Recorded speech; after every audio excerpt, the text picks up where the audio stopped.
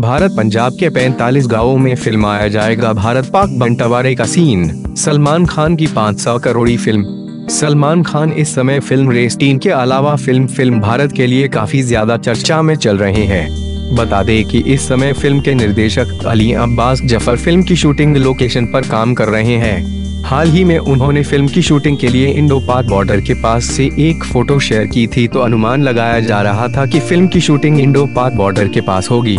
बता दें कि फ़िल्म की शूटिंग के लिए अब एक और खबर आई है, जिसमें पता चला कि इस फ़िल्म की शूटिंग पंजाब के गाँव में की जाएगी, जहाँ पर फ़िल्म का वो पार्ट फिल्माया जाएगा, जिसमें भारत और पाकिस्तान का विभाजन होना है। बता दें कि सलमान खान की इस फ़िल्म का पार्टीशन वाला भाग करीब पैंतालीस गाँवों में फिल्माया जाएगा और इसकी शूटिंग करीब पंद्रह दिन चलने वाली है। पंजाब के इन गाँवों की बात करें तो इनमें किला रायपुर, गुजरवाल बिलगा और घुघराना जैसे गाँव शामिल किए गए हैं। बता दें कि सलमान खान की इस मोस्ट अवेटेड फ़िल्म में प्रियंका चोपड़ा लीडिंग लेडी के तौर पर नज़र आने वाली है। इसके पहले भी अली अब्बास ज़फ़र को सलमान के साथ देखा गया है।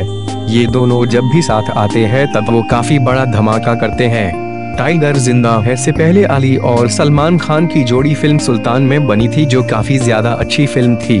इस बार फिर से सलमान खान एक अलग ही अवतार में इस फ़िल्म में नज़र आने वाले हैं। फ़िल्म भारत की बात करें तो इस फ़िल्म का मुहूर्त हो चुका है और फ़िल्म शूटिंग शुरू हो चुकी है। सलमान खान इसकी शूटिंग जल्दी ही लगातार करना शुरू करेंगे और फ़िल्म 2019 की ईद में रिलीज़ होगी। इस समय सलमान खान फ़िल्म रेस्टीन की शूटिंग में व्यस्त है।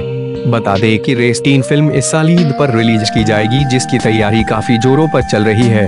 भारत की बात करें तो फ़िल्म को सलमान खान के जीजा अटुल अग्निहोत्री प्रोड्यूस कर रहे हैं। ये प्रोजेक्ट काफ़ी समय से पेंडिंग था, जो कि अब फ्लोर पर आया है।